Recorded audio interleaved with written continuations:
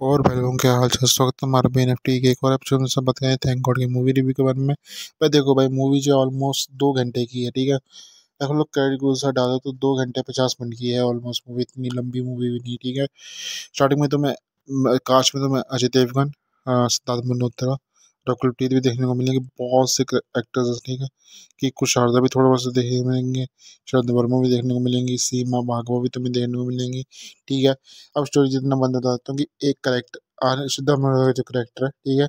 वो जो है, वो उसका जो है एक्सीडेंटली जो वो ब्रॉक करा है मतलब कि वो जो है, वो दूसरों को जो है, वो फ्रॉड करता है उसको अमीर बन गया होता है, लेकिन जब जो है, अपनी वो होती है क्या बोलते हैं यार उसे, नोटबंदी होती है तभी जो वो बैंक हो जाता है, उसके बाद जो चाहे उसका एक्सीडेंट हो जाता है तो उसके बाद जब वो उसको रिलाइज होता है कि वो मर गया और चित्रगुप्त के पास पहुँची उसके बाद जो उसको गेम खेलनी होती है, ठीक है?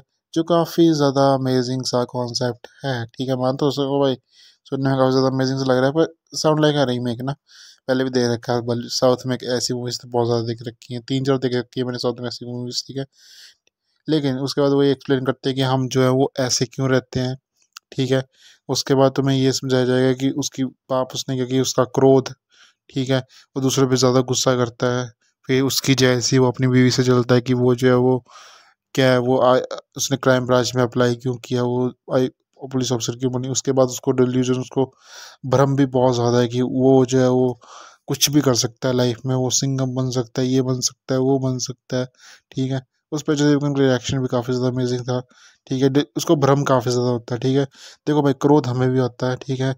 ईर्षा हमें भी होती है, उसका लश जो हर किसी का होता है, जैसे नौरा फतेही लस्ट है ठीक है।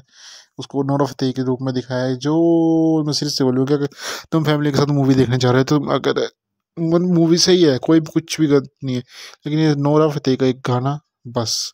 तुम फैमिली के साथ इस मूवी को नहीं देख सकते फिर। अगर तुम इतना हैंडल कर सकते हो तो मूवी देख सकते हो, ठीक है। कई जगह तो मैं वैसे से बोलूँ इस बात सिद्धांत मल्होत्रा की कई जगह तो ओवर एक्टिंग भी देखने को मिली, ठीक है? मेरे को लगा भाई सीरियसली बोलता हूँ, मेरे को लगा, बाकी तुम्हारी इच्छा।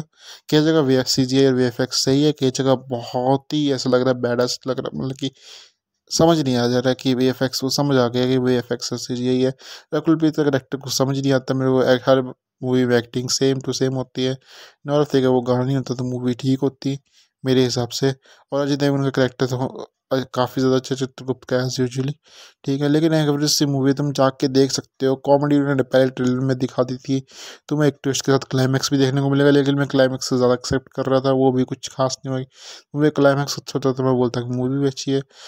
तो चैनल पर नहीं है तो चैनल को लाइक कर सब्सक्राइब करो लाइक करो शेयर करो सब्सक्राइब करो। See you then for now love you guys